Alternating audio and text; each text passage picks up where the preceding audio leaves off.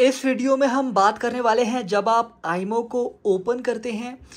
तो यहाँ पर एक ऑप्शन आता है मिस्ड आईमो कॉल्स और यहाँ पर टर्न ऑन का ऑप्शन आता है नोटिफिकेशन की सेटिंग्स में। मैं बता दूँ ये कहाँ होता है।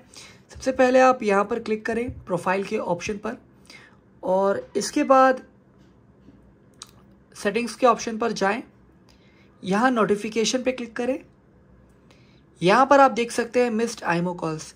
यानी अगर ऐसी कॉल, कोई आपको कॉल करता है और आपसे वो कॉल मिस हो गई है, आपने वो कॉल उठाई नहीं है, देखी नहीं है तो अब आपको उसका नोटिफिकेशन आ जाएगा कि ये कॉल्स आपने रिसीव नहीं की थी, ये कॉल्स आपने उठाई नहीं थी, ये कॉल आपसे मिस हो गई थी। तो टर्न ऑन कर दें यहाँ पर एंड इसके बाद यहाँ पर सेट करके इनेबल नोटिफिकेशन कर दें यहाँ से। नोटिफिकेशंस को ऑन कर दे, ये सारी नोटिफिकेशन यहाँ पे अलाउ रहनी चाहिए। ठीक है? और यहाँ पर ये तो ऑलरेडी ऑन है, ठीक है?